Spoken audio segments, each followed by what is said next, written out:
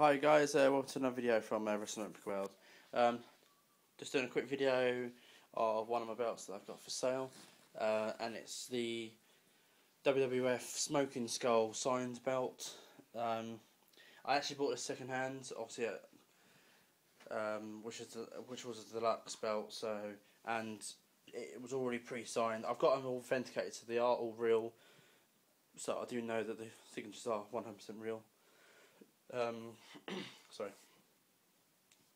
So this belt is actually really quite old, and it's it's actually in really good condition considering like the age of it.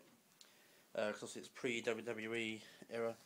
Uh, it's all got the WWF logos on every single uh, plate, and I believe on the back as well. I don't think it's got the sticker actually. No, it hasn't. Um, but here we go. So obviously going to from one plate to the next, just so you can see the quality of it. Uh, this belt's actually signed by The Undertaker just down here. Uh, Stone Cold Steve Austin is just here. The Rock and Kane. Um, obviously myself, I would have got the I would have got the um, strap signed, uh, but obviously this person that got it done, it's got it on the plates. But it still, to be honest, it, look, it still looks okay. It still looks good. Um, for for a, for a fan, it's really really good. So, um, so there you go, guys. Obviously and there's the snap box. Now obviously onto the other side. This is an adult size.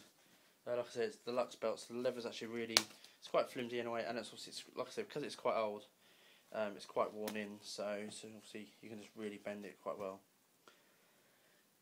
But there's, there's the back. Obviously, if you saw my last video uh, with, uh, what was it, I can't remember, the, the Raw Tag Team belt. No, not the Raw Tag, the uh, United States belt that I've got for sale. I've actually got some of the these belts actually straps already made. Um, so if I just get it, because I've actually already made this one. Well, I pre-cut it, I should say. Where my, basically my friend was working on um, some leather, and uh, as a project, because he had a bit of spare time on his hand, he he, he offered to uh, make me some. If I if I buy the leather, he would make me some. Um, just uh, just as to practice with, really it was never intending to to do it to make make them to sell at all. Um, obviously, it was down to my. It, he said that he'll cut it out. That's not a problem, and then um, show me how to do a little bit or of the work.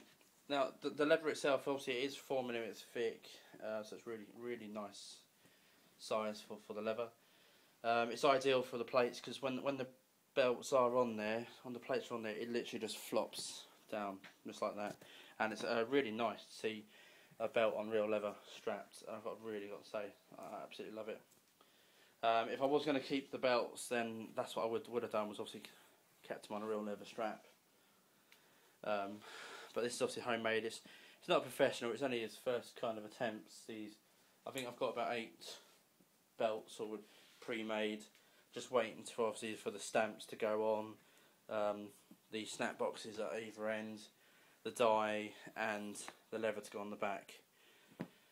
Um, but obviously, sadly, obviously because the work's picked up a bit, he's he hasn't really got time to do them. So, or help help me.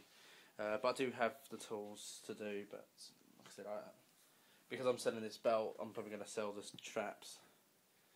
Uh, but like I said, if you do want the, the belt, then that's great. But obviously, if you do want the leather strap as well, and obviously you want to try and finish it off, um, then obviously these straps will be uh, more money on the belt because I want to try and get my money back for the leather that I've paid for for these. Um, so yeah, uh, and then obviously it's just down to you to finish it off, which isn't much more. Um, I was always intending to get. I'm gonna eventually, obviously, if I do uh, buy these belts back, and obviously if I don't sell the leather, then i will happily keep them because in the day is, I'll, you know, then I'll know that I'll have the real leather pretty much already made uh, for when I do buy the belt again eventually. The only reason I'm selling them is because I'm, I'm using the money to pay for my WrestleMania trip for next year, so I cannot wait. And sadly, because I've got nowhere to put these belts at the moment, I'm going to have to let them go. But anyway, so there you go guys, so there's my signed Smoking Skull belt. I kind of started to rebel on just then. Um, I'm happy to sell these worldwide. Uh, Now, bear in mind, I do live in the UK, so if you do live, if you do want this belt and it's going to America, Asia, Europe, anywhere else but UK mainland, then shipping will be a bit higher than UK. Now, if you, if you are making an offer on these belts, then it doesn't include the shipping, um, or the, obviously the real leather if you want the real leather. But obviously, that's you know, you can either sort out your own courier and get them picked up from a house. That's not a problem. But you know, if you can if you can find a cheaper way one of doing it, then that's up to you. Or I can I can have a look around. I'll probably just use a uh, monkey parcel monkey.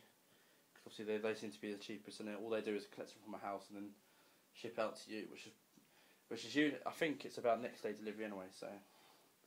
But anyway, guys, if you've got any messages, just message me on Facebook, eBay, Twitter, or even on YouTube. You know. Um, so there you go, guys. There's my smoking skull.